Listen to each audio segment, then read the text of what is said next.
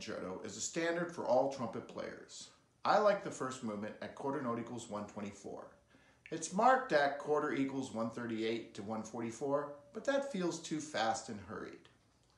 The E to F trill in the first section is a passing or melodic trill and should start on the E. At letter O, the intervals need to be clean. I practice this all slurred to ensure good accuracy. The G to A trill at the end is a cadential trill and should be started on the A trilling down to the G. This trill is very difficult and needs to be practiced slow.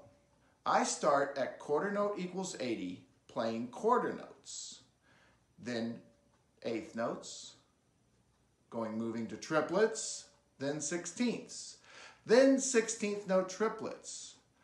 Be patient. With daily practice, it will improve. Second movement. Make sure the first note is low enough using your third slide to tune it. At the end, the E flat to F trill is also a cadential trill, so start on the F. Third movement. The mark tempo of 144 is really fast. I like quarter note equals 132. In the second bar, I start the 16th, after the 16th rest, with a K tongue, kata kata kata kata. This helps to keep the double tongue even. When you get to the 16th note triplets, use a triple tongue, tataka. That way, you'll get a nice clean tatakata, tatakata. Good luck.